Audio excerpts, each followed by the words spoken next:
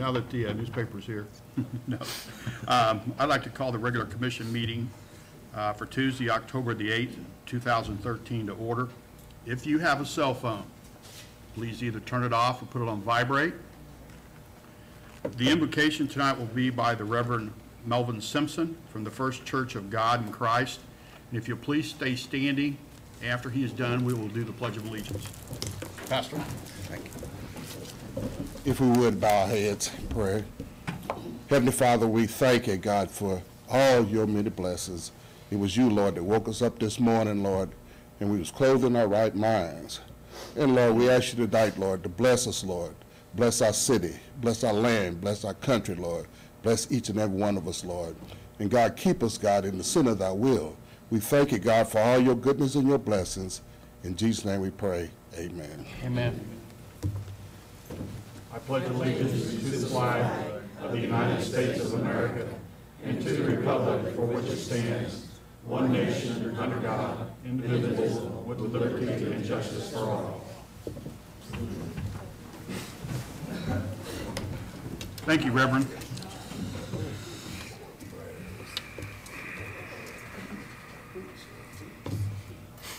Uh, The first thing, before we get into the, the meeting, uh, if you'll notice, I am wearing pink. This is the first pink I've ever owned.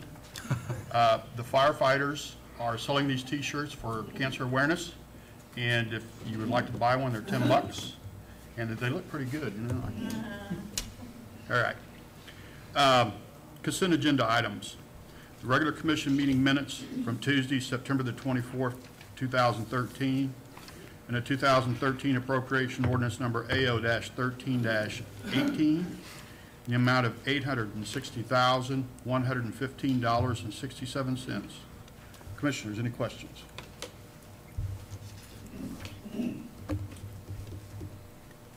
None for me. Tom? None. Move to approve the consent agenda as presented. Second?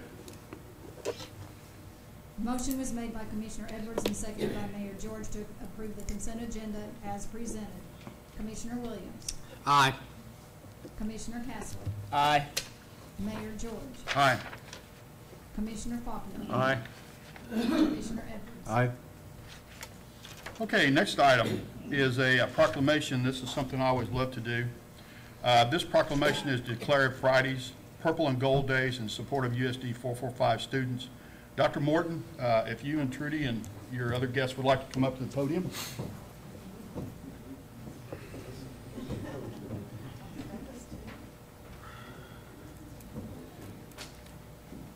Face that way. Get the camera. This proclamation, whereas public schools are the backbone of our community and provide children the education and tools necessary to become productive members of society, and whereas Coffeyville schools are committed to providing a happy, caring, hopeful environment which will empower all children to achieve their greatest potential, and whereas all USD 445 employees work tirelessly to serve our children with care and professionalism, and whereas the best education for our children is achieved when parents and the community as a whole become involved in the education process. Now, therefore, I, David George, Mayor of the City of Coffeyville, Kansas, do hereby proclaim Friday, all Fridays, as Purple and Gold Days throughout the community, and do hereby urge all citizens of this community to support our children and our schools, not only on Fridays, but all throughout the year. In witness thereof, I have hereto set my hand and caused the seal of the city of Coffeyville be- to be affixed this eighth day of October 2013. Thank you very much. You're welcome. Anything you'd like to say? On behalf of the school district, uh, we'd like to thank the city for this pro- proclamation. Uh, It's really great to see uh, entities working together in a positive way that uh, promotes education and uh, which is a a driving force in our community. So again, I'd like to thank the mayor and the commissioners for declaring today and and the team that put it all together. Uh, I know we're missing a couple, which is Misty Russell and uh, Robert Roski were a part of that. And uh, Jimmy, Jimmy Ludlow. and Jimmy Littleford. So uh, on behalf of the school district, we'd like, again, thank you very much for recognizing It was our us. pleasure. It was our pleasure. Thank you. Next, we have a presentation from USD 445, and the first part of the presentation uh, is going to be the Imagination Library.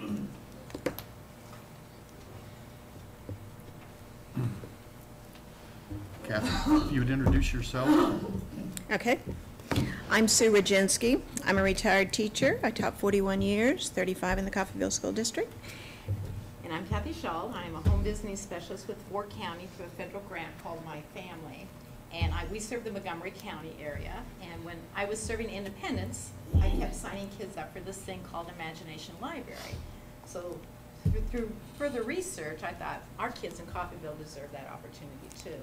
It was developed by Dolly Parton in 1995 in her home state of Tennessee. And her goal was to encourage children the love of reading and learning, and everybody should have a book. So through her foundation, kids receive a book every month from birth through five. They come like this, addressed to them. So they get their own mail each and every month. So it's kind of fun to go to the post office, get box, and not have a bill. So the kids get their own book. And Sue's gonna explain a little bit about the books. Now, as an educator, we were always concerned about what books we read to our children, and as parents, I'm sure the same, and the grandparents. Well, when we started looking at this program, we were very interested, I especially was very interested in the way these books were selected.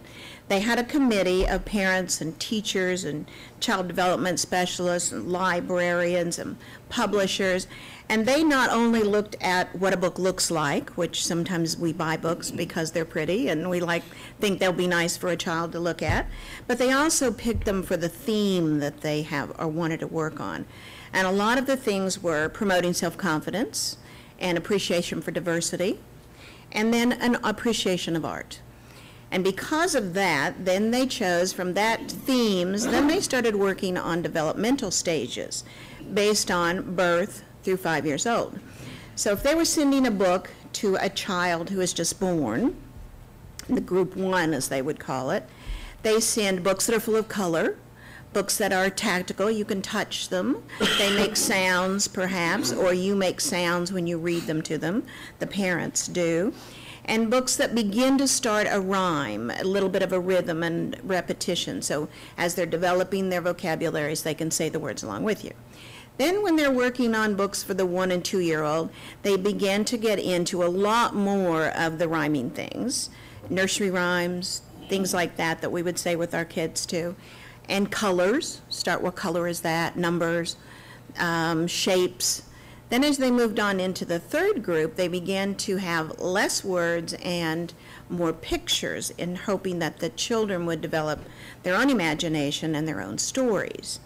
Then in the next group, they started working on um, developing the right and wrong problem solution books, those kind of things where you had what did the character do, why do you think they did it, and maybe solving a problem.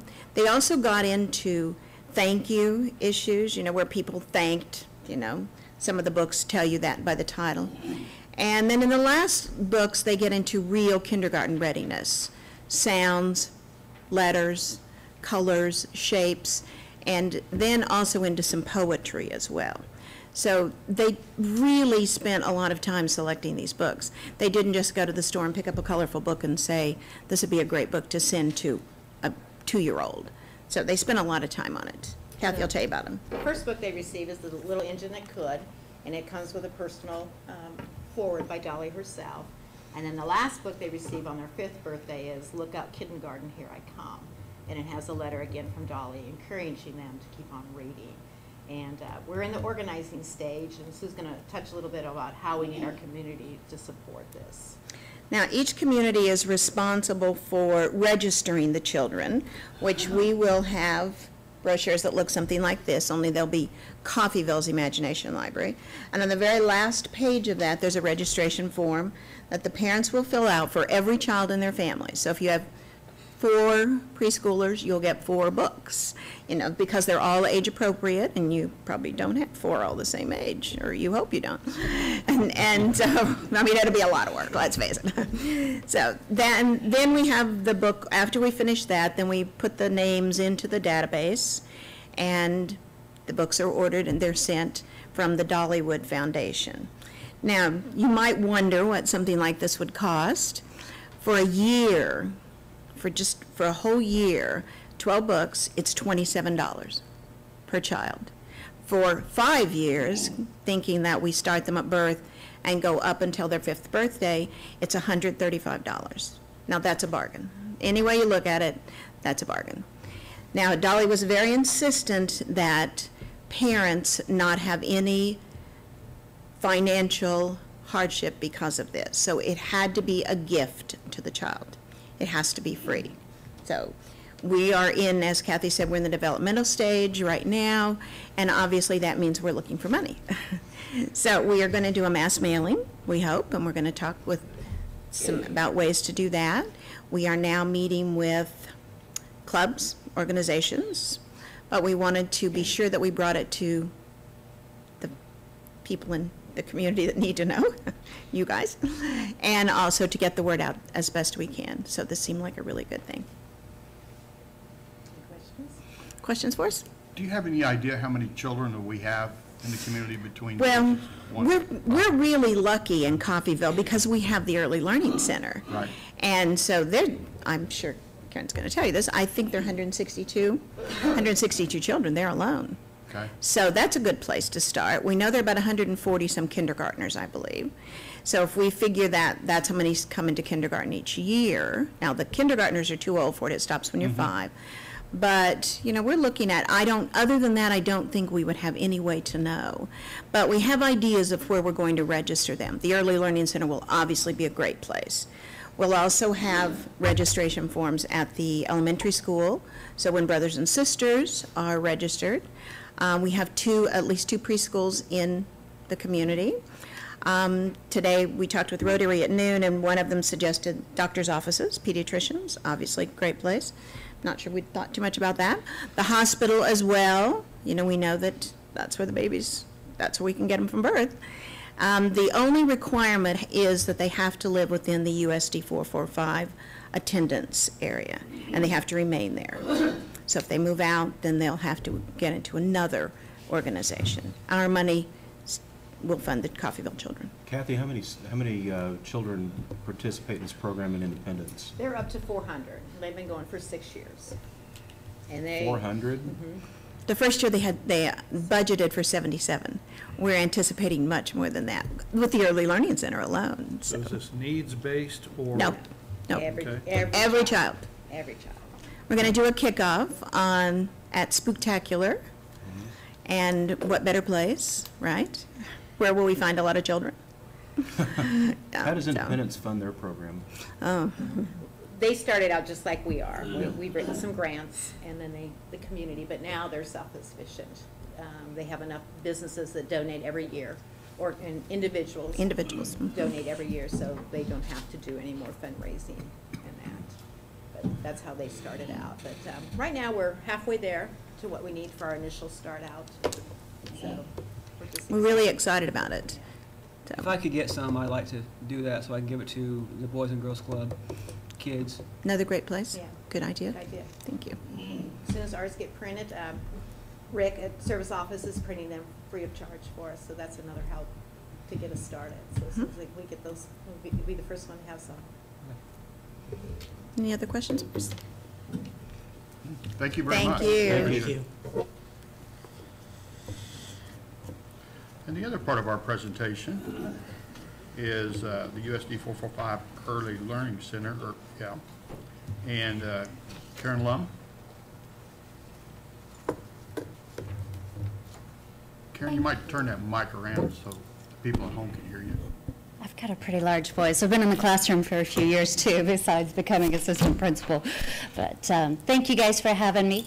Um, I am the new assistant principal at the Early Learning Center. That's just a few blocks away here on Walnut. Um, I'm gonna wait this up just a little bit.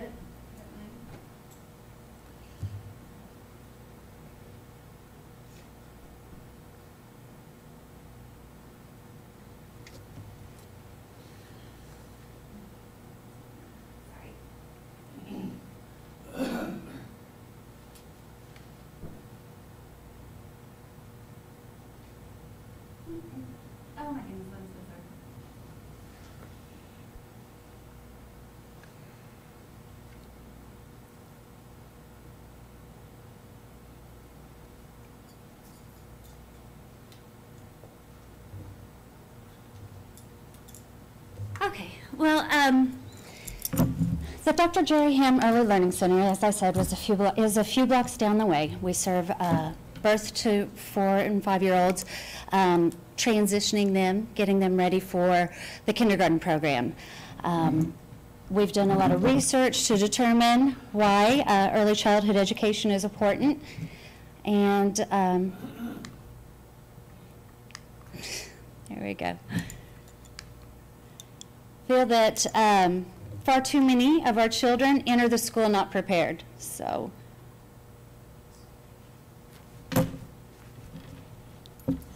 looking healthy for me. Um, when unprepared children begin school behind, we know that they tend to stay behind um, and then tend to fall further and further behind. Some of the statistics that we have show that um, children who do not recognize the letters of the alphabet when they enter kindergarten demonstrate significantly, significantly lower reading skills at the end of the first grade. 88% of the children who are poor readers in first grade will still be poor readers by the fourth grade. 74% of the children who are poor readers in the third grade remain poor readers when they start high school. So it's a growing trend. It never leaves, in most cases, it never leaves them. So all children need to enter school ready and able to succeed. Um, children who attend high-quality preschool enter kindergarten with better pre-reading skills, richer vocabularies, and stronger basic math skills than those who do not. Um, and as far as a quality education program, I feel our um, faculty is top-notch. Coffeyville University uh, Universal Pre-Kindergarten follows high standards of quality, including implementing a state-approved approved curriculum and employing teachers who are state certified in early childhood education. We also boast that every classroom has a lead teacher and also a teaching assistant, providing a seven to one ratio so that we have more opportunities for individualized instruction and attention for each child. Um, the children and the families also benefit at the Early Learning Center. Uh, they receive access to comprehensive services offered through the Head Start, which some, at all times includes health and dental screenings, mental health support, social support, services. Um, we do a lot of early intervention, and that seems to pay off. Um, you know, we've already seen a reduction in services at the kindergarten level for special ed services, just because we feel like we're meeting the needs at a lower level, getting those students prepared and ready to transition. Um, if you were to walk into our building, you would see family-style meals with children and staff eating breakfast and lunch at the same table. Uh, the children are responsible for setting the table, preparing their plate, getting their beverage, and, and cleaning up after themselves. Um, practicing good table manners, saying please and thank you, brushing their teeth after all meals. We encourage all these, you know, positive behaviors, um, important skills that we feel are, um, you know, lifelong skills. We want to make habits that are, are good for the well-rounded child, not just academically. Um, at the learning centers, the children learn problem-solving skills, sharing, taking turns and responsibility.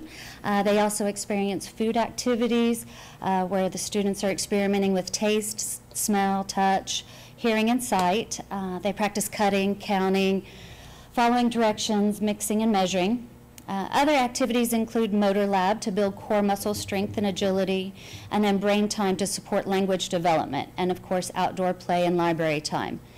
Um, so again, we hope that we're developing uh, the well-rounded child after all these activities. Um, cognitively, uh, these activities show that it improves school performance in the long run, raises math and language abilities, sharpens their thinking and attention skills, uh, reduces the special education placement, such as I spoke of, and lowers the school dropout rates.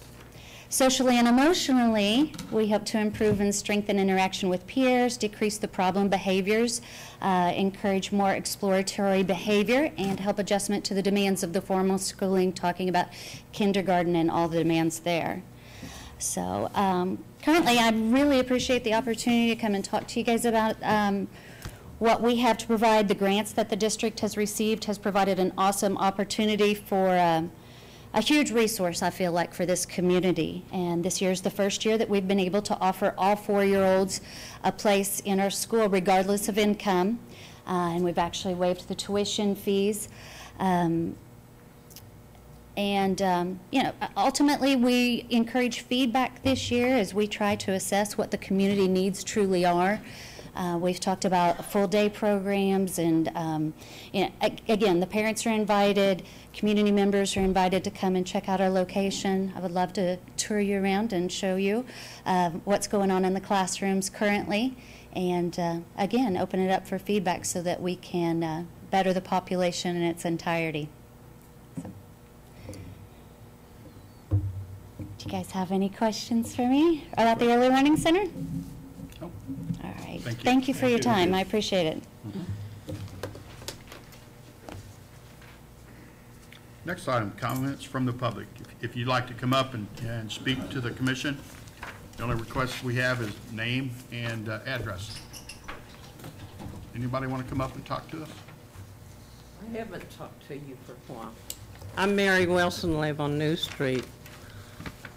I go to church at First Christian, and the intersection at 10th and M has been under reconstruction. So it meant that when I went to church, I had to find a way to leave church, to get there in first place and then to leave it. It's been a very interesting experience. It is open now, and it is great. It is smooth intersection, and it has a beautiful sidewalks there. I just want to say, thank you very much. Thank you, Mary.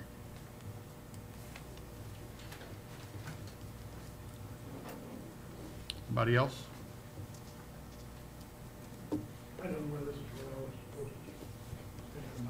No, Jay. Jay, Jay, just a second. We'll, we'll come to you. This is No, Just a moment. anybody else? Okay.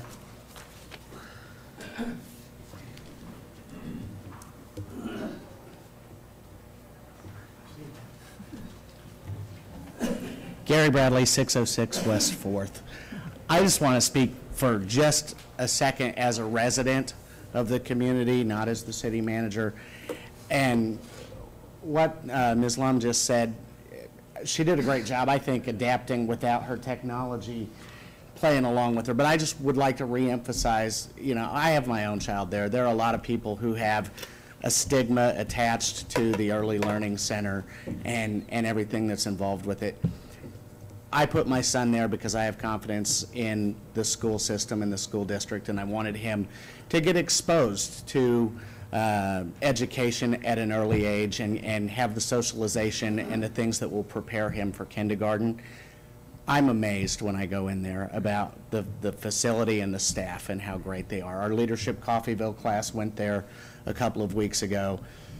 And even the, the folks in that group who don't have kids there were impressed by the motor lab and the different things that the kids do. It's a, it's a tremendous opportunity for people to take advantage of.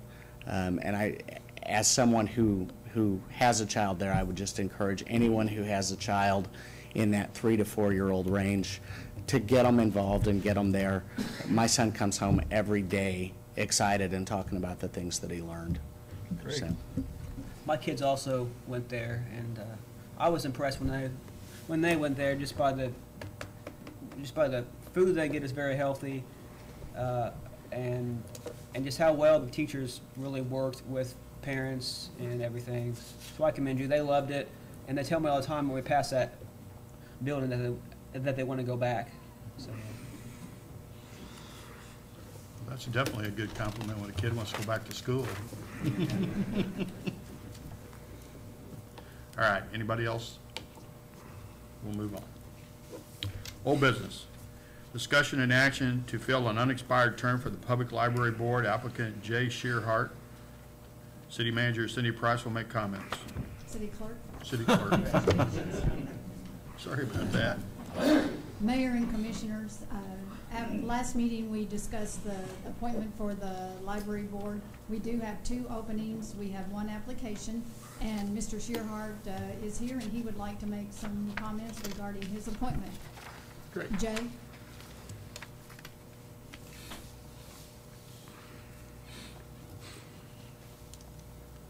I uh, come before you with, in humility.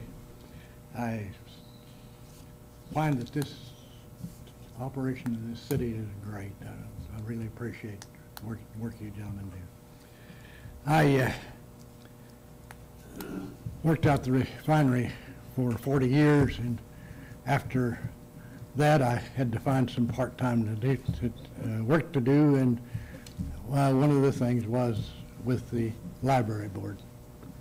I would strongly recommend that anybody interested uh, would consider uh, applying for that. Uh, I'm about to start a new term myself. Uh, I, I tell you, I'm at a loss. I, I, Jay, why why would you like to be on the board? I have uh, been a reader all my life. Uh, I had a library card about as quick as I could walk. Uh, And, uh, and I've enjoyed the library since it was over on 8th Street. Uh, It uh, has been a source of great pleasure, great education. It, it's, it's just does a wonderful job. Okay. Jay, didn't you also do the, haven't you also volunteered at the Dalton Defenders Museum and stuff like that as well? I am still available. Uh, They give me a second retirement, first from the refinery and the second from that, but uh, they still call me occasionally. We appreciate you doing that all those, all those years. It, uh, it was a pleasure for me. That uh, uh, me a chance to represent Coffeyville to uh, visitors, to inform them of, uh, uh, I was asked a lot of, in in addition to uh, the uh, museum contents, I was asked about other things to do in Coffeyville. And uh, I tried to mention everything, the Aviation Museum and everything like that that we have to offer. Any other questions for Jay? I have none. Jay, we sure appreciate you coming up here. Thank you.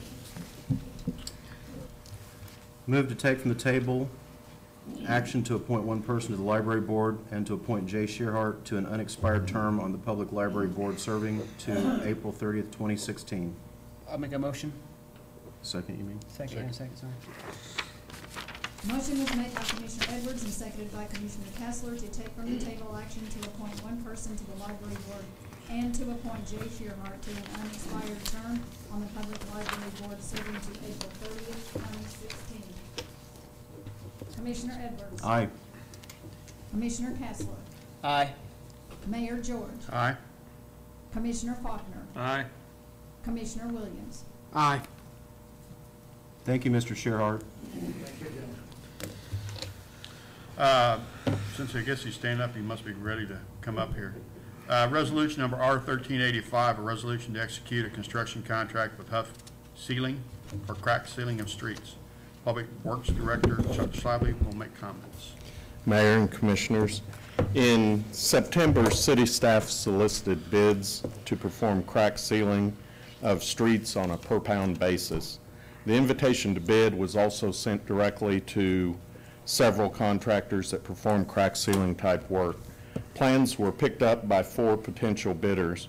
When bids were opened on September 27th, two bids were received. Uh, Detailed tabulation of the bids received should be attached to my staff report. The low bidder is Huff Sealing of Albion, Illinois. Huff is a large contractor who's performed projects in seven states over the past few years. The contractor who will actually be doing the work for Huff is Tom Beechner. Tom's company has worked for us in the past, including similar crack sealing projects in 2011 and 2012, um, as the subcontractor for Huff Sealing on those projects also. His crews were good to work with. They did a good quality of work, and we were very happy with the jobs they did. Um, The bid will be awarded, and the contractor will be paid based on the unit prices times the actual quantity of work performed. The unit bid prices for the largest bid items, which were mobilization and sealing of the smaller cracks, are identical to the unit prices bid and awarded the previous two years. The unit prices for the other line items, which include the concrete joints and larger cracks, was actually considerably lower than the past two years. The project uh, will be paid for from the 70% preservation portion of the street sales tax. If the project is going well, we plan to seal the cracks in as many streets as the funds approved by the city commission will allow. Um, The City of Coffeyville five-year plan for street improvements includes $200,000 each year for crack sealing. This proposed project was bid to utilize the 2013 and 2014 funds budgeted for crack sealing of streets for a total amount of $400,000. The contractor has agreed, excuse me, has agreed to do as much additional crack sealing as we want at the same per-pound cost with no additional mobilization cost. The mobilization cost this year, as it was in each of the previous years, is $50,000.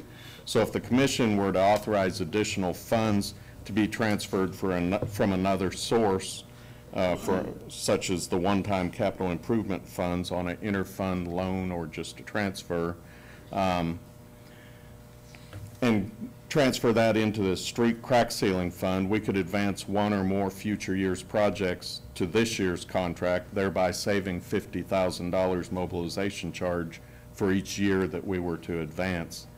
That $50,000 would pay for approximately 7,150 additional pounds of crack seal material that could be applied to the streets for each year that we would advance.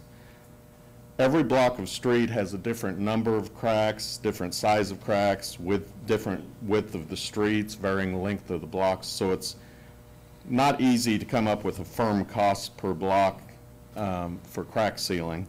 But based on previous year's crack sealing projects, we estimate that one block of street uses an average of 361 pounds of material or a cost of approximately $2,500 per block. So that equates to an additional 20 blocks of streets crack sealed for each $50,000 mobilization charge that we avoid by advancing the projects. Additional savings would also be realized by eliminating engineering fees for preparation of bidding documents for those future years. And most importantly, sealing the cracks sooner means stopping the damage and deterioration sooner. There are two maps attached to my staff report.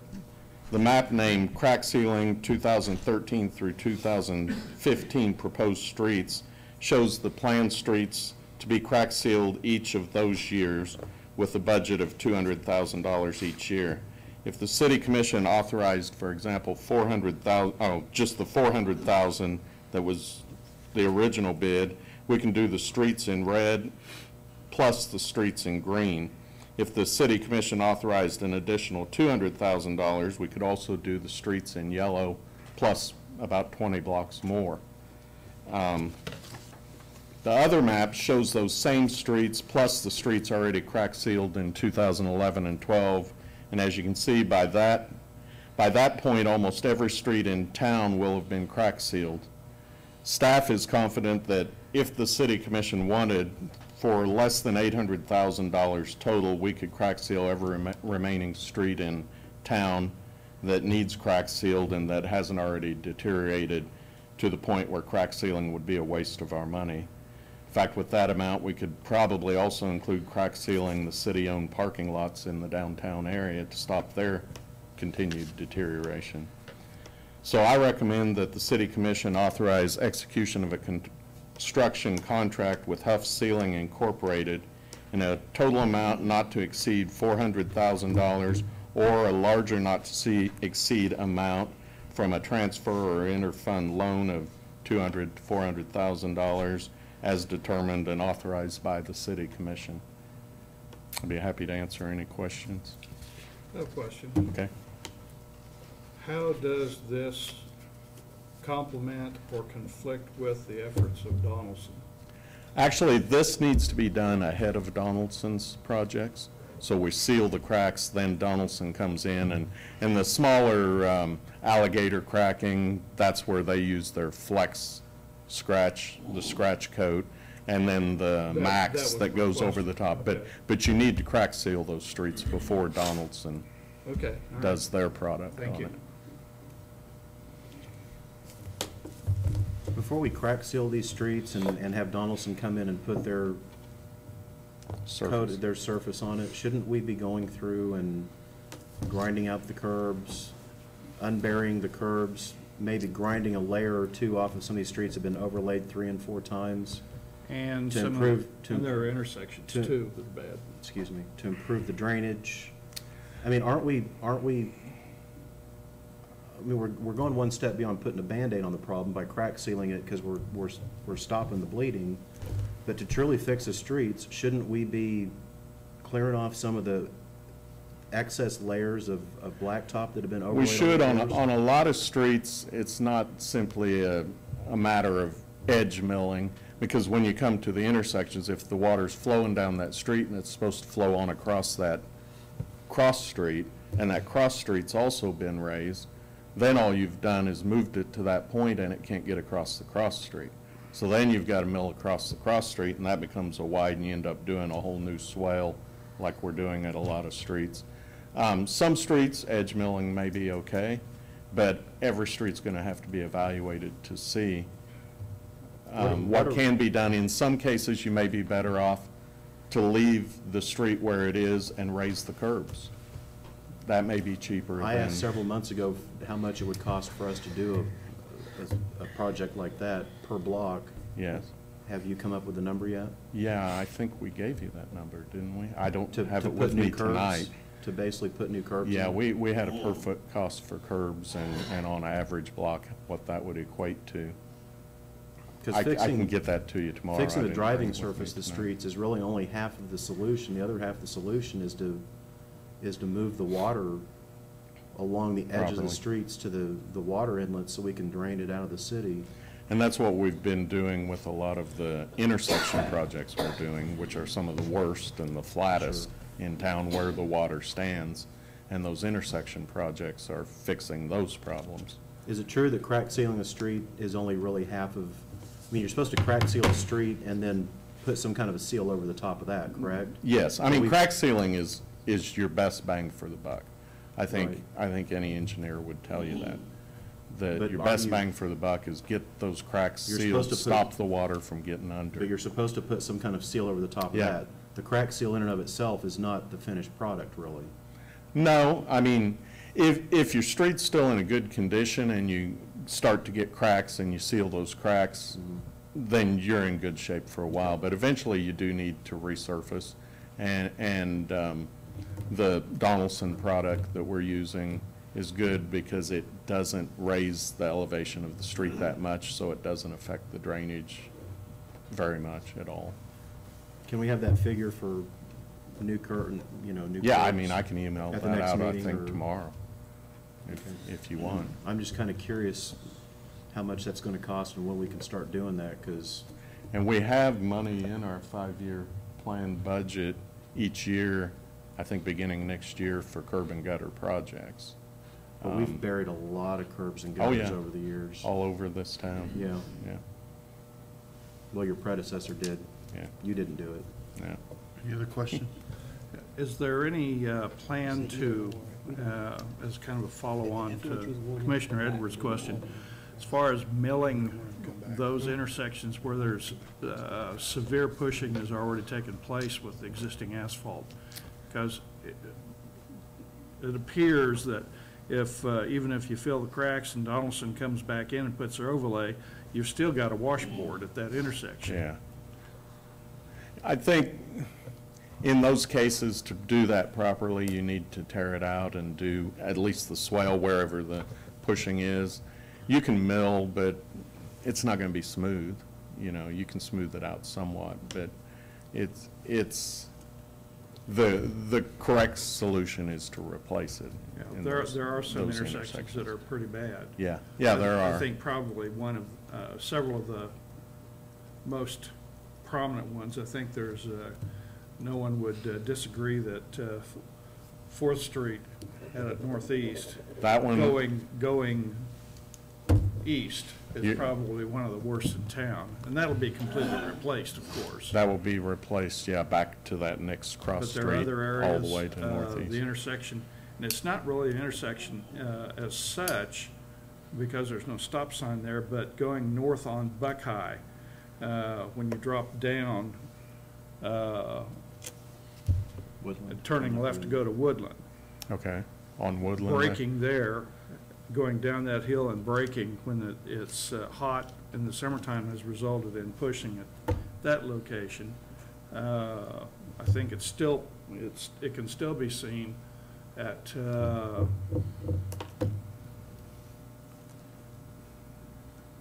what was the, what- what was recently done out in Edgewood? Fairway, Midland and Catalpa, we did the entire intersection. Uh, there's this- Fairway and Tyler. Tyler, Tyler and was Fairway, I there think was we an did a intersection or swale. Two out there where it was still pretty bad. There is, there definitely is. I mean, we're, we're starting, for the first time in my memory, working for the city, though, we've got a project, I mean, a system going, and we're starting to pick the worst intersections and replace them one group at a time every year. We've started that process. We're in, heading into our third year of that now. Okay.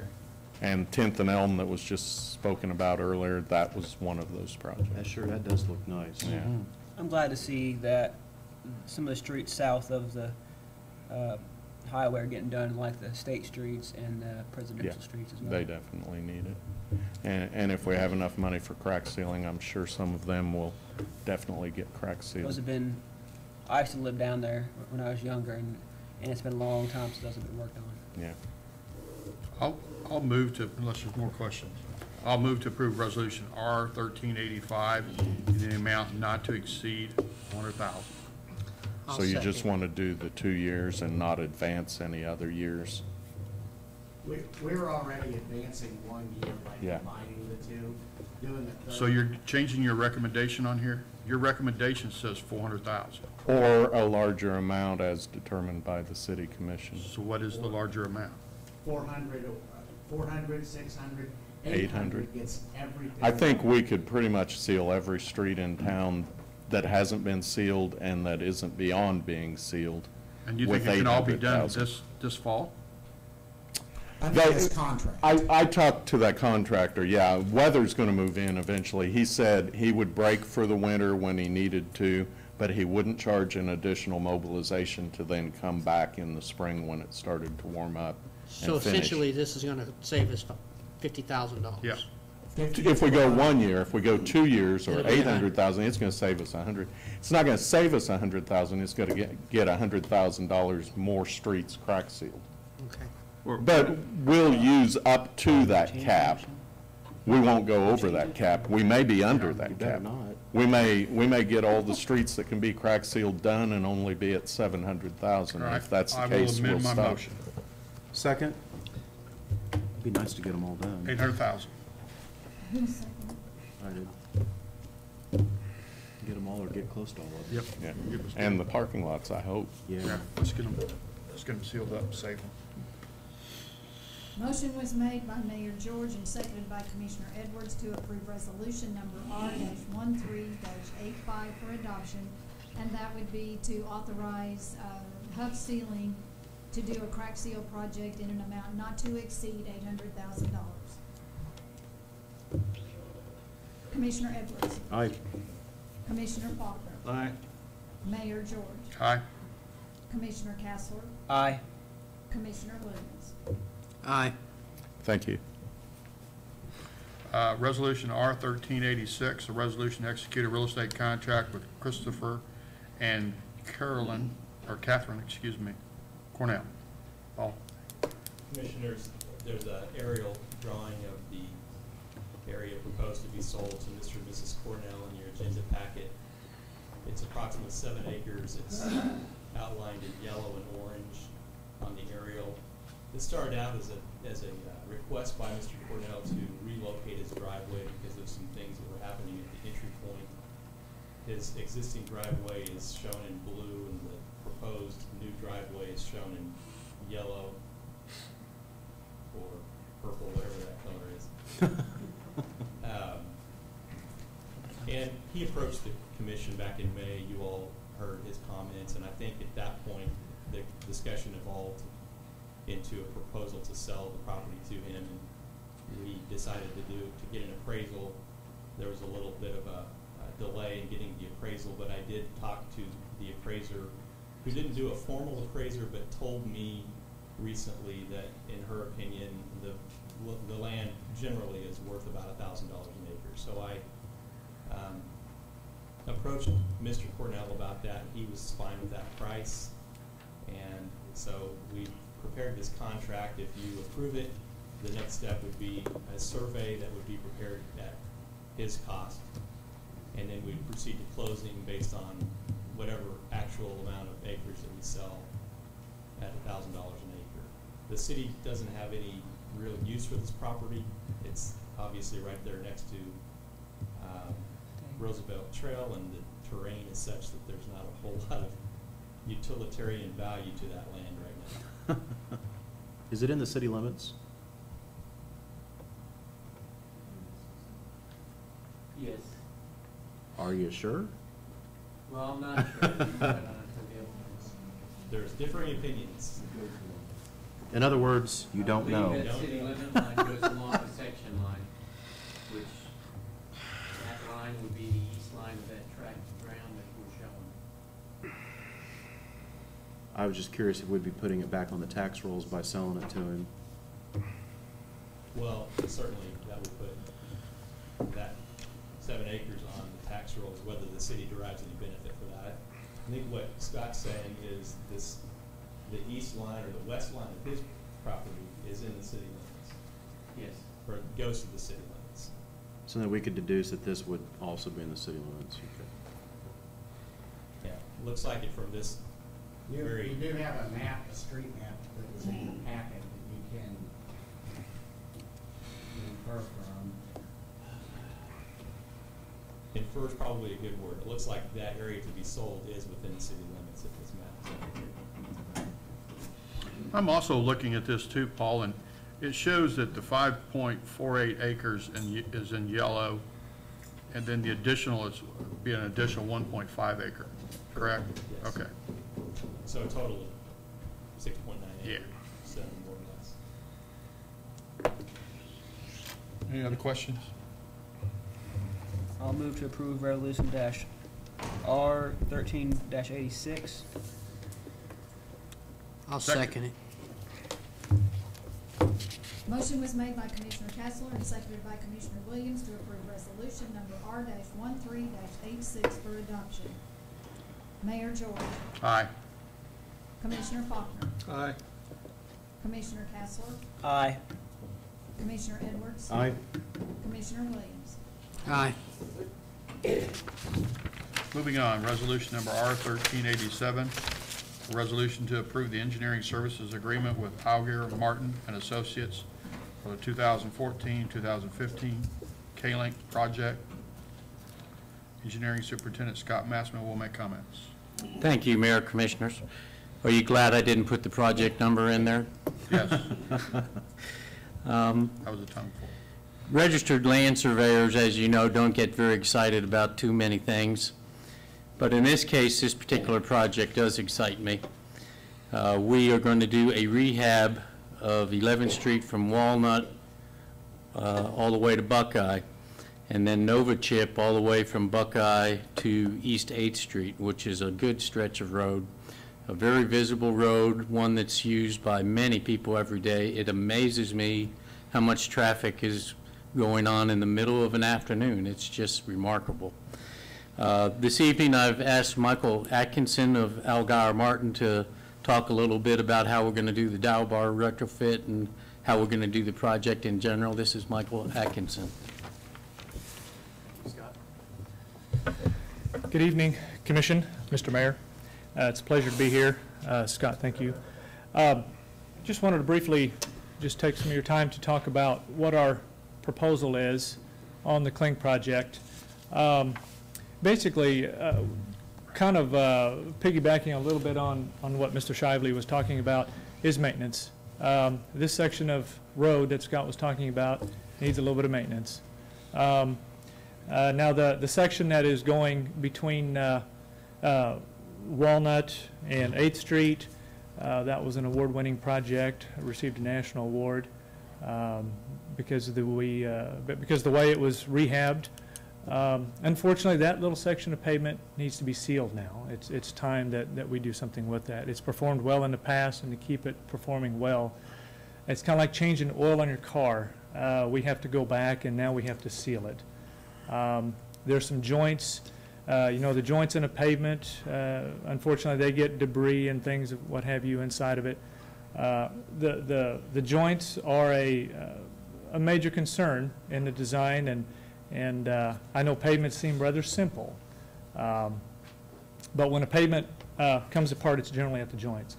Uh, Years ago, when I first started this, about 21 years ago, I had a seasoned inspector tell me one time, he says, if you don't want the pavement to crack, uh, leave it in the truck. So, of course, that's impractical when you want to build some pavements. What a pavement, what concrete pavement do, it'll crack. No matter what happens, you put it down, it's going to crack. And we quickly figured out as engineers and uh, that we need to control those cracks. Um, And so typically what we, what we do to control that is we will saw a pavement every 15 feet or so, and then we'll seal that. That's called a crack control joint. Within that crack control joint, um, there are steel dowels. They're, and they're laid horizontally, and what that does is as a wheel load transfers from this panel across the joint to the next, it transfers the wheel load. What happens in that, in that movement is while the pavement is supported vertically, it still has to move horizontally. Temperature and contraction causes that pavement to move. Now, if we go back and overlay that same piece of pavement with asphalt, asphalt is considered a flexible pavement. What will happen at that location? It'll crack. And that's called reflective cracking. Um, So what Scott wanted me to do is, was talk to you a little bit about that, and, and this is how, uh, what I'd like to do is just basically outline a uh, expectation. When we overlay the asphalt or overlay the pavement, it's going to crack at those locations. There's nothing we can really do about it at this time. We have to let it crack. We'll come back later, about a year from now, let that ravel out and come back and crack seal it. And so this is exactly what we did on South Walnut. And, and I know there may be some concerns when somebody says, why are you crack sealing that brand new pavement? That's the dynamics of it.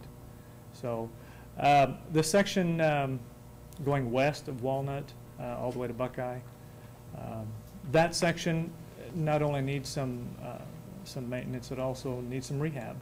Um, So the plan, so part of this project is to close, perform lane closures, cut out the pavement, the bad sections of pavement, and go back with new. Uh, The new slabs that we put in, it's a very simple process. Uh, We'll go back and dowel bar retrofit that. But at the same time, then we'll come back and overlay that. That same crack sealing process will occur there too, so. I thought we dowel bar retrofitted 11th Street from Buckeye to Walnut back in 1998, when they did the last big project there. Not to my knowledge. We did, in- I was thinking it was more like ninety-five, ninety-six, but, yeah, in that timeframe. When they went through and they put the drain, tried to improve the drainage uh, along the sides, and we didn't do a dowel bar retrofit then? Dowel bar retrofit wasn't an option at that time, and they hadn't come up with that idea at that time. Um, And that's been almost twenty years. that we've got- What we did was the joints that we had at that time, and that was nowhere near all of the joints. Do you have a time frame of how long it's gonna take? Uh, Yeah, what, uh, from, uh, let let me talk about construction and bidding. Um, We would like to move forward with the design. We would, ideally, we would like to uh, move quickly enough where we can get plans, specifications submitted to KDOT immediately. Um, We would like to get authorization to bid sometime this winter. And what that, it does a couple of things. Because of the size of the project, we, ex- we've expanded it. Um, It makes it more attractive for bigger contractors, uh, more competition. And by bidding it earlier in the year, contractors can start filling up their, uh, their their their agendas. Um, So the hope is, is to get more competitive bids. Um, Timeframe, uh, we would like to start this spring or this coming spring. It will probably take about uh, five months to complete the project. Ma- The majority of the summer. Hopefully done in time for Fair and Rodeo. Well, just for the sake of clar- clarity, it'll take about five months and those impro- uh, improvements will last how long? Yes, that's, that's a good question. The, uh, the hope is on, on a rehab. Um, It's nothing like something that's brand new. Um, The, uh, the overlay, we expect about seven years out of the overlay. Um, Concrete pavements will last much longer if it's just concrete by itself. A brand-new concrete pavement, a good example of that would be South Walnut. But Um, you couldn't do that in five months. No, no, sir. Would we be money ahead long-term? Because I, I distinctly remember the discussion back in ninety-five or ninety-six, that there was not, when that road was constructed, that, that there was a, a poor base under that road. Would we not be better off and money ahead in the medium and long term to literally dig that street out and, and do it right? I think you'd be hard pressed to pry that money out of the state to do that project. Since that is a state highway. I would like to answer that question. Mm. Um, A full-depth reclamation project, complete removal and replacement, basically you're putting back a brand-new pavement. Yeah. Um, That is, that's a major capital expenditure. Sure. Um, No, we're talk, I know we're talking millions of dollars. Millions of, yes, sir, yes, sir. Um, I think Scott and I even talked about South Walnut at the time that we did the NovaChip, the overlay. We looked at, the- that pavement was really in bad shape. Yeah. Um, One of the things that we talked about was, uh, you know, we've, we've pretty much gone in there and patched and stitched and dowel bar retrofitted almost all we can do. Yeah. Uh, There's a point there where the pavement, it no longer becomes feasible to rehab what you have there. So, uh, yes, yes, sir, that, one of these days, uh, that would certainly be something to explore. The South Walnut is a, is a road with a better base, and it, it, even though the concrete was in bad shape, especially at the joints, it was still concrete.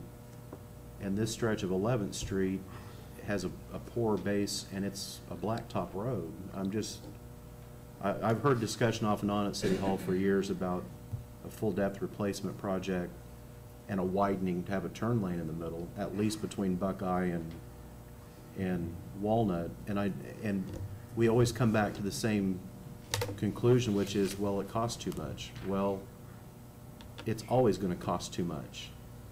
And the thing is, every time you kick that ball down, that, kick that can down the road, it's gonna cost too much more in five or ten more years. And so I'm back to my original question, which is, shouldn't we really be looking at, I mean, we're digging this road out right now of, of a, uh, little square section at a time, and we're taking one joint and digging it out and replacing it with a block of concrete, and now you got two joints there. You see what I'm saying? Mhm. You're doubling the number of joints that you've got. And I just, I think at some point, we're just, we're pushing the snowball down the mountain, and it's just gonna, at some point, we're gonna have to do the right thing. I'm just curious if the point to do something about it really is right now. I'd like to point out that the existing concrete that is there right now mm-hmm. breaks anywhere from six to 9,000 PSI. And the concrete we get nowadays, it'd be hard to see that. Uh, What Scott's trying to say is, is the concrete, the compressive strength, it's very strong right now in, in terms of today's standards. It's, you know, co- concrete just continues to harden over time. Sure. Um, And so what he, you know, the, the concrete there is, it, it's a good quality concrete. The other thing to look at is, yeah, it is, it is deteriorating. The joints are coming apart. And I, I would certainly agree with you one hundred percent. One of these days, uh, there's going to be that time where we can't patch the pavement any longer. When that day is, we'll certainly have to take a look at that. That'll be a study that we'll have to do on a, or somebody will have to do on a piece of pavement. maybe we start planning. Well, leaving it like it is right now is certainly not an option in my mind, so, I mean, One of the, the, of course, the action that we're doing right now, it's a preventative maintenance. It'll preserve the pavement. And like you said, we kicked the can down the road, but Yeah. right now, we do, uh, we're addressing an immediate problem that we have right now. we're delaying the inevitable. True, but it's up to the state. Yeah. Sure wish they'd get a printing press and start making money. At least they're open. Yeah. Any other questions? Very good point. I'll move to approve Resolution R thirteen eighty-seven for adoption. Thank you for coming tonight. Second. Thank you. Motion was made by Mayor George and seconded by Commissioner Kessler to approve resolution number R one three eight seven for adoption. Commissioner Williams, Aye. Commissioner Faulkner, Aye. Mayor George, Aye. Commissioner Kessler, Aye. Commissioner Edwards. Aye.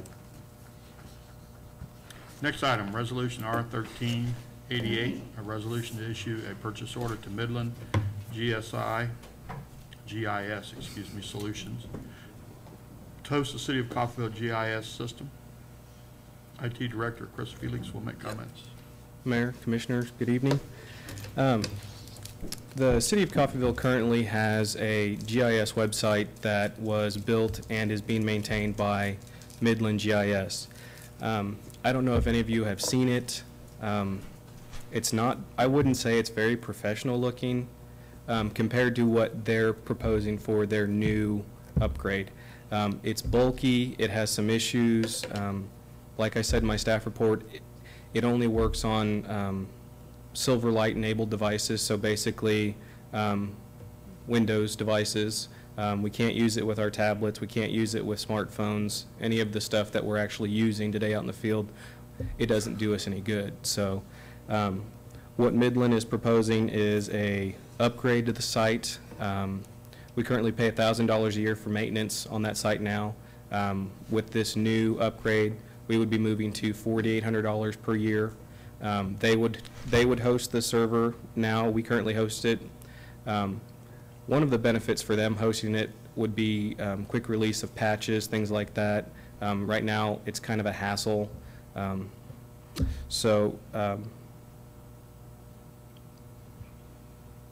yeah, so um, the city is recommending that we move to this new site that would, would enable us to use our GIS platform on um, Windows devices, tablets, handhelds, of things of that nature. So I'd be happy to try and answer any questions you may have. When did we buy what we're using right now? 2010, I believe, late 2010. I'll talk to you after the meeting. The current website. That already is impractical and not of much use. I wouldn't say it's not of much use, it's just not practical, practical for our uses in the mobile field now. We have a lot of people that use it on the desktops, don't get me wrong, we Oh, do. okay, all right. But we're, we're moving away from just having desktops, and, you know, we've got laptops, it works on those, that's fine. But the download speeds and everything else with that clunky version, it, it's really not friendly to use. I would recommend any of the commissioners, if you haven't seen it, you need to go down and see it. And use, I've, you- I've had Scott and Thomas help me several times, being able to pull something up, and they can draw around it, and they can tell me where all the utilities are on the lots and everything else. Uh, My only real question to you is, I noticed in here, they're gonna do a new domain. Is that our domain, or is that theirs? It would still be our domain. Okay. It's just they would, they would provide the SSL certificate for that particular Okay, site. It will be our domain? Yes. Okay. It was gonna be a, a gis.coffeyville.com domain, and I didn't wanna get locked into them having our domain if, for some reason, we, years down the road, we walk away. We won't be able to take that with Yeah. Yeah, we, we will maintain ownership of that domain. Thousand bucks. Yeah.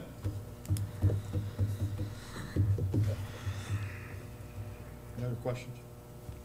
Move to approve resolution number R thirteen eighty-eight for adoption. Second. I have a question. Sure. Um, name and address. We're on TV, we got to think of the audience. No problem. Uh, My name is Brian Goff. My address is 1326 Irving. I actually live in Independence. I'm the uh, county appraiser from Montgomery. And, uh, Oh, you are? yes. Okay. It's nice to Uh, meet you. Nice to meet you too formally. Uh, We had talked uh, a little bit in terms of combining efforts uh, between the county and the local jurisdiction. I think this is one of the key examples that we can really do. Um, The GIS system that's for Montgomery County, I think can be a dual use in terms of utilizing your information and us combining that information, whether it's a direct site, uh, combining funds in terms of using a uh, provider together, or just to even have the same data on the same level. Uh, in terms of zoning, it, it helps us, the appraiser's office, if the zoning's on the, is concurrent, that we have all the information from all the jurisdictions. Um, and it helps in terms of finance. I know that the GIS system for Montgomery is strapped. They have three people. Uh, and any kind of combination between resources, between your GIS system and ours to uh, combine and make it more efficient and better uh, for not only the city, but the county, I think helps. But I would try, I would strongly urge to try to combine all of these instead of having everyone separate. I, I came from Wichita uh, and Sedgwick County, and we'd always have really strong relationships between the city of Wichita and the GIS system. We would have access to all the zoning laws, everything for Wichita. Uh, Any other cities, nothing. We couldn't get zoning, uh, we couldn't drive a lot of models from what we need for um, addressing property values, and it became a little bit disjointed, having to call Derby or call uh, Rose Hill and say, what, where's your zoning? We have a sale on this property, we don't know if it's commercial property, if it's residential property. I think that combining as much of this resources as possible is beneficial for everyone involved. Um, And although I haven't been, uh, Chris would be the one to contact in terms of the county, uh, would, would definitely advise to kind of bring everybody together and not fraction us apart and having overlapping systems that can't be working together. So this system would not work with what you guys use? I'm not familiar with it one way or another. I'm, I'm not the professional by any stretch of the means uh, on GIS systems. I just know that we run uh, GIS system in concurrence with the information that's provide, or that we have for valuation for all the properties in Montgomery. Um, But I'm not sure. All, to clarify, all of this is, is just the web access to our GIS data. All the data can still be shared, you know, all that kind of stuff. We get stuff from the county all the time. Thomas and engineering builds layers off of that, and then we just publish to the website. So that's all the website is, is basically just a published version of the data we currently have. Okay. Um, Welcome to Montgomery County. The other half. Yeah, the, the better half. Um, I spent 30 years in the, in the appraisal business, so uh, you have a massive job in front of you. Yes, I've realized that after I signed the dotted line. It's uh, a lot deeper than uh, I thought, but it's worth the challenge, I think. Be gentle with us. No, because- We just try to be fair. He's- he's Ten just percent asking for if- eighty percent of the time, that's where we're shooting for. No, we don't want to table this. He's just asking if down the road we might be able to share data and stuff like that, so. Yeah. Absolutely. Still stands. Yeah, still stands. So Thank you, I'll- gentlemen. Just keep those appraisals low. Uh, Ten percent, that's what we're shooting for. Yeah, thank you. Okay, I'll entertain a motion. I already, I think I already. We Already- it was already moved and seconded. Are, are you ready? Yeah. The motion was made by Commissioner Edwards and seconded by Commissioner Faulkner to approve resolution number R one three eight eight for adoption. Commissioner Faulkner. Aye. Commissioner Williams. Aye. Commissioner Edwards. Aye. Mayor George. Aye. Commissioner Kessler. Aye. Next item.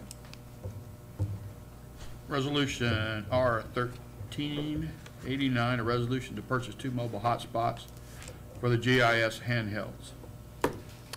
Mayor and Commissioners, um, last week, I believe it's last week, yeah, last week, um, was it two weeks ago? Two weeks ago, sorry.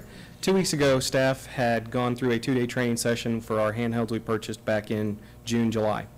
Um, now that we actually have gone through the training and are ready to use these, um, one of the requirements is these devices have to have an active internet connection to maintain the level of accuracy that we are going to require to maintain the accuracy that Midland did when they first came in and did all of our, our surveying.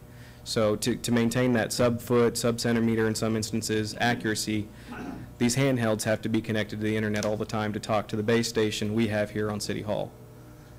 Um, We, in town, the internet access isn't going to be much of an issue with the Wi-Fi that we're building out.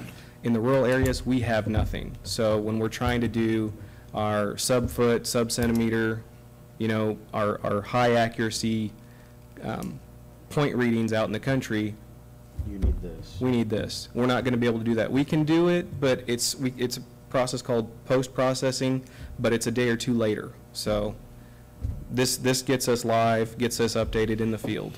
Don't we have, already have hotspots? We do not have hotspots. We have um, USB devices for um, several departments. So um, these, these are actually mobile hotspots that are basically Wi-Fi for the vehicle. All the smartphones that we've bought aren't hotspot enabled? We don't have that option, no. I told you you should have bought apples. I'm not saying, saving- I'm not saying we saving some money cannot right do now. that. We just have not paid for the option with the cell phones we have. And the, the phones that these gentlemen are going to be using out in the field, they're not smartphones. It doesn't cost extra for an apple. So we, so we don't have hotspots? We do not have hotspots, no. We have USB devices for, the USB dongles, basically. So one device only. What is the, what is the difference in the coverage with using Verizon versus US Cellular? Um, it, it varies. Because I'll Um, tell you my experience with Verizon out in the county, and it's not very good. And we've had similar issues with US Cellular, too, in the county. Really? Mm-hmm. Wow. Well, but one thing about it, they're not gonna be very far from Coffeyville, because the only thing we have in the county would be, uh, electrical. Industrial port? Oh, Right. Electrical, okay, I see what Right. you're Okay, saying. I see what you're saying. Yeah, we're not, we're not going very So it'd be far the- out. So it'd be the electrical plant that really is the ones that'll need these, Mhm. correct? Okay. Move to approve resolution number R thirteen eighty-nine for adoption. Second. Motion was made by Commissioner Edwards and seconded by Commissioner Kessler to approve resolution number R one three oh nine for adoption. Mayor George. Aye. Commissioner Faulkner. Aye. Commissioner Williams. Aye. Commissioner Edwards. Aye. Commissioner Kessler. Aye. Comments from commissioners and staff?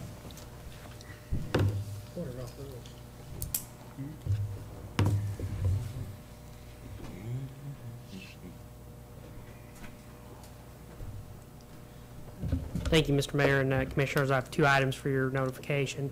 Um, First of all, uh, unfortunately, I regret to uh, inform the Commission that we were uh, denied or not selected for funding for that Safe Routes to uh, School grant. Uh, We were just notified yesterday of that. Um, And so I wanted to um, get your direction on, on how would you like city staff to proceed with, um, with that issue. We've, we discussed that at the end of last meeting, and Yeah, I think that, my understanding was the direction is that if we weren't funded, we would move forward with it. Yep. We'd take care of it ourselves. we. What we was, what was the proposal that you recommended several months ago? The, um, the cost was approximately twenty-four thousand dollars for seven, um, flashing uh, school zone lights to be installed around Community Elementary and on Eighth Street. And that includes Eighth Street, high school, junior high. That's correct. It'd be two on Eighth Street, one east and west uh, of those schools on Eighth Street, and then five um, surrounding Community Elementary. Um, There all, there are other options. Um, You know, we could do signs with um, feedback devices, basically signs with radar guns in there that, that would show your speed. There's, you know, locations we could um, put those. Um, You know, we could expand this if we wanted to also include um, Holy Name School as, as well. So there's, there's a couple different options depending on what scope of project the, the commission would like to see. I think probably if, if we're gonna do something for the public schools, I almost feel obligated to do something for Holy Name also. I mean, I think that we should include Holy Name in, in the proposal. I And I think it know that would you not- worked up a, a wonderful proposal, but it didn't include Holy Name. It, it did not, that, that particular proposal a did kid's a not. kid. Would you have any objections to him working up a different proposal that No, no included objection. Holy Name? Yes. What about Let's go for the, the early education center? Parents do walk there with their kids, some of them do. We, we actually have had a, um, a proposal to make some improvements around the early, um, learning center, uh, with regards to the intersections surrounding that. We, um, have been, staff have been discussing, and it's a little bit premature, but we'll probably be bringing a proposal to add four-way, uh, inter, stop sign intersections around the early education center. Um, Also, Chuck, you had uh, the engineering company in to look at replacing part of that street in that area, didn't you? Holy name? No, uh, early education. Street. Yeah. Between uh, Second and Third. Union Street from First Street to Fourth Street. We'll begin design, hopefully do that construction. Design, what do you need design for? We're totally ripping out that. Yeah, they're gonna street. take it all It's out. got bad Okay. space Yeah, where it's a that old sewer line Uh, went through, and it's some, so it'll be Union Street from First to Fourth. So I hate to put maybe some around there, but Well, my, my question is, is that after you, let's just start off from the beginning. The proposal that includes Holy Name, can you have that done in two weeks? Yes. And then once we get that proposal and say we put it on the agenda and we'll have to hear your proposal, put it on the agenda on the next meeting after that, that'll be a month. Who does the work? The city or do we have to hire a contractor or, or what do we do? we can do it either way. Uh, and if your direction tonight were to just move forward and do it, I mean, we know essentially what the costs are. We can Expedite it. start the process of ordering the, the equipment. The one note that I would say with respect to the early, ed- the early learning center is that, that or early childhood education center is that while kids do walk to school there, it's not the same as kids walking to school at the elementary school or the junior high. The kids that are walking to that school are walking with a parent um, who has, one would hope, 30 to 40 years' experience of looking Crossing both the ways street. before they cross the street. Um, so keep, I would say to keep that in mind with regards to that particular facility. Um, It, it doesn't mean you can't do it. Uh, Obviously, if you, if you wanted to, you can, and we can, we can put flashing lights around made the facility as too. well. So back to my question, what, what do you prefer, hiring a contractor or let, or doing it yourself? Um, You don't need you a know, contract. we can do it either way. It'll pull people possibly off some other street projects for a time, installing them, but we could do it. Or we could contract it, we could get prices and see which way we want to go possibly. Um, as far as around our early education center, those are, like Gary said, um, it's kind of a different situation. And those are residential streets, not commercial streets like Pine Road and Eighth Street. So it's a, it's a slower traffic.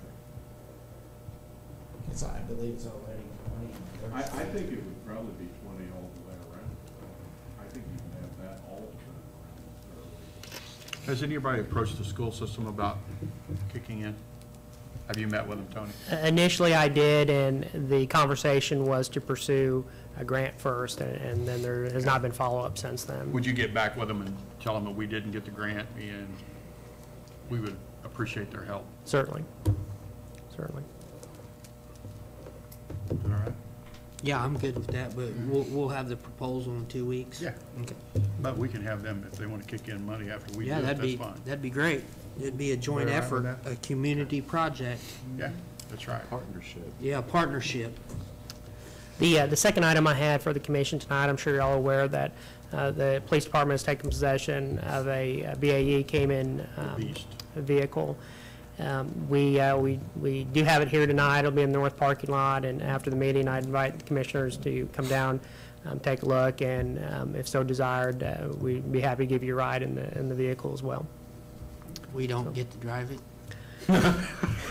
He told me the mayor does. The mayor gets up in the turret. Okay. You, well, one of you can drive and one of you can hold the big machine gun. Okay. Thank you. Pray for lives, too.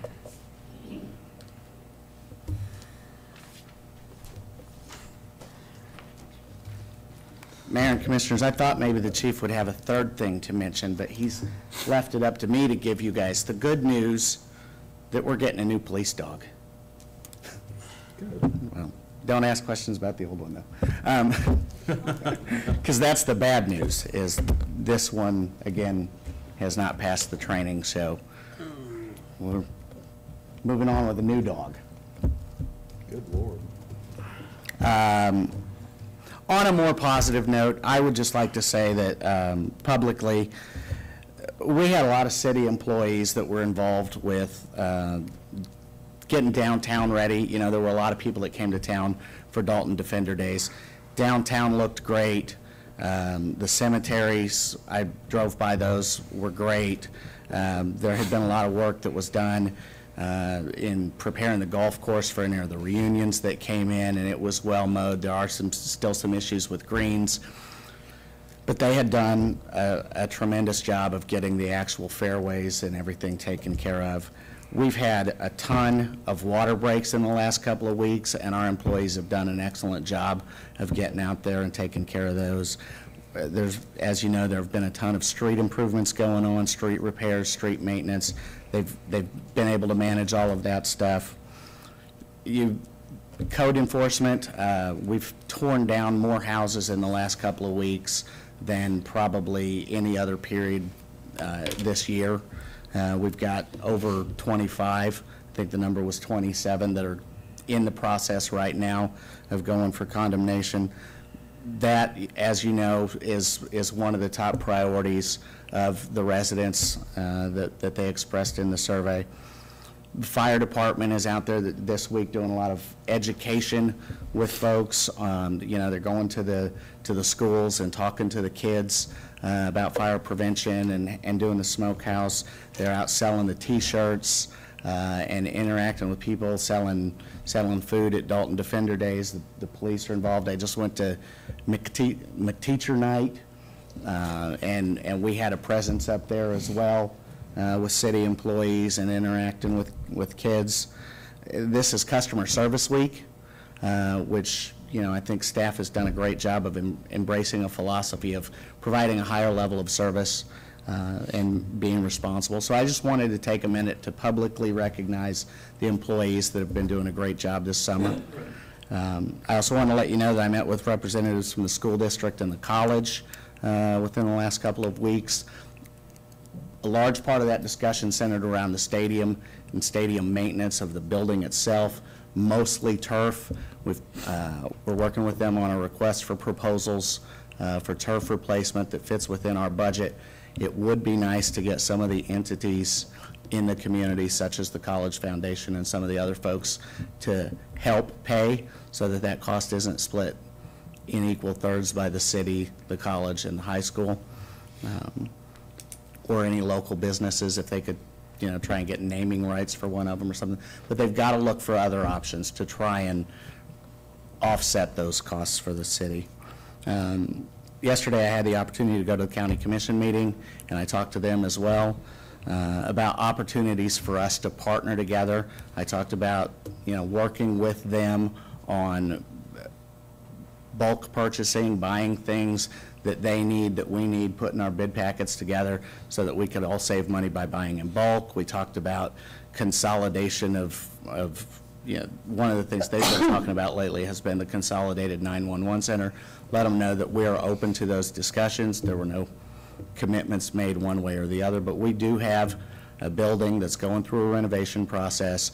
We will have facilities available if that was an option that this, that the county and Caney and Independence and others wanted to go in that would provide a higher level of service at a reduced cost to the taxpayers. Um, There are other opportunities for us in the county to work together, like the citywide cleanup that's coming up, and how we handle household hazardous waste. I think they need to do a little better job of including those funds in the budget, because that's a priority for people. If they don't bring it to that event, the only thing they can do is throw it away, dump it in a ditch, or keep it. Um, And none of those are great options. So I'd like to see them step up and help us in our efforts to clean up the community. Would like to also remind you that the cleanup is coming up October 19th. Uh, Let all of the community know that. We still need volunteers, and we still want people, whoever's able, to bring in their stuff. Uh, Anybody that saw it last time, it operated much better than the time before as far as the traffic flow. We didn't have as much volume, but we still had quite a bit and was very successful. We're hoping that with October and what we anticipate to be a, a fairly cool day, that we'll get a lot of traffic through there and help to clean up the town. Thank you. Thank you.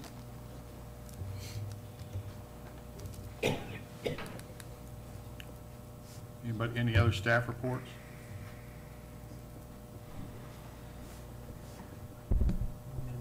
None? Commissioners?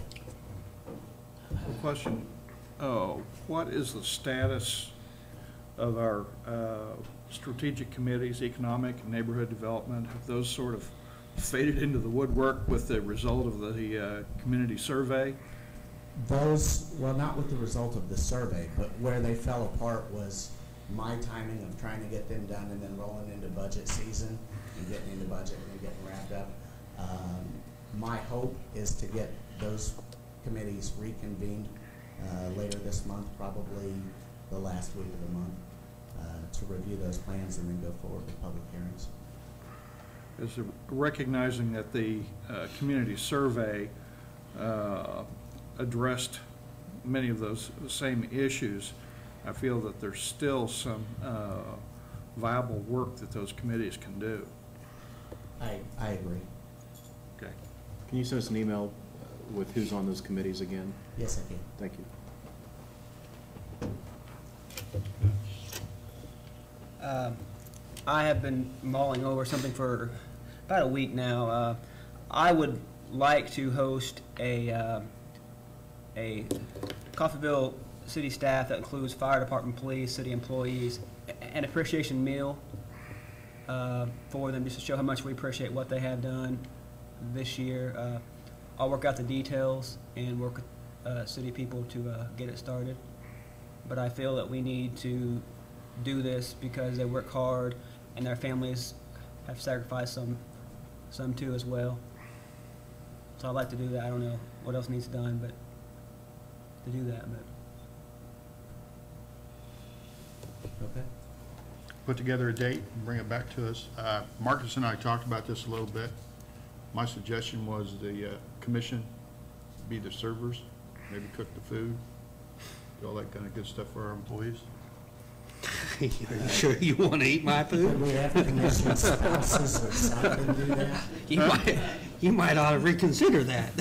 It'll be foolproof food, not, I, I- I ain't asking for gourmet meal. Well, maybe we better change it. Yeah, Might have maybe we one. could have sandwiches. There you go. I, th- I thought it was a pretty good idea, Marcus, if you would, uh, run with it and maybe talk to Gary and Cindy about it. Okay. If the rest of you approve of it. I'm Okay. fine with that. Okay. Anything I else? did, just as a closing, uh, Mr. Mayor and uh, Gary, if you would, just as a reminder, I'll be uh, leaving Saturday morning for the League of Kansas Municipalities meeting, and I'd appreciate your input on the uh, policy statement vote. Since I won't be voting for myself, I'll be representing the city. Need to know what your uh, position is, and if you could coordinate between the two of you so that I'm casting a single vote. We actually did talk about that yesterday. All right, thank you. We're gonna have executive session. Yeah. You got anything you want to say? No, I'm, I'm Okay. good. Move to adjourn to executive session for discussion of the acquisition of real estate to reconvene on or before 8:40 following a 10-minute break. Second. Motion was made by Commissioner Evans and seconded by Commissioner Faulkner to adjourn to executive session to discussion of the acquisition of real estate to reconvene on or before eight forty, and that will include a ten-minute break. All in favor? Aye.